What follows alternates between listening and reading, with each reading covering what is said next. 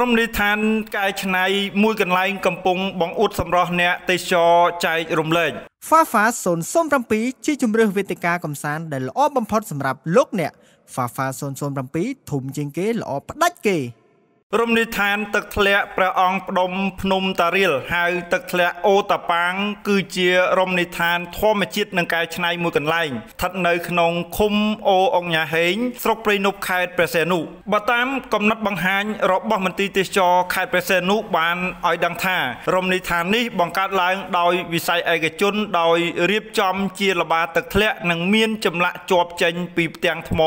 នៅនឹងកន្លែងផ្ទាល់ដោយជាងចម្លាក់និងរូបមួយចំនួនទៀតនាំយកមករៀបចំដាក់បន្ថែម មានទម្រង់ស្រដៀងទៅនឹងចម្លាក់នៅតាមប្រាសាទបុរាណរមណីយដ្ឋានទឹកធ្លាក់ព្រះអង្គផ្ដុំភ្នំតារៀលមានទីតាំងស្ថិតនៅភូមិអូតាប៉ាងឃុំអូអង្ញាហេងស្រុកព្រៃនប់ខេត្តព្រះសីហនុមានចម្ងាយប្រមាណ34គីឡូម៉ែត្រពីក្រុងព្រះសីហនុដោយធ្វើដំណើរតាមផ្លូវជាតិលេខ4ចន្លោះបង្គោលទី191និង192ហើយពេលមកដល់ភូមិសាស្ត្រខាងលើបត់ចូលតាមផ្លូវលំប្រមាណ5គីឡូម៉ែត្រនឹងទៅដល់ទីតាំងនោះឬមួយចំណុចផ្លូវសម្ដេចសង្ឃបំបែកពីផ្លូវជាតិលេខ4ទៅស្ទឹងហាវចន្លោះគីឡូម៉ែត្រលេខ18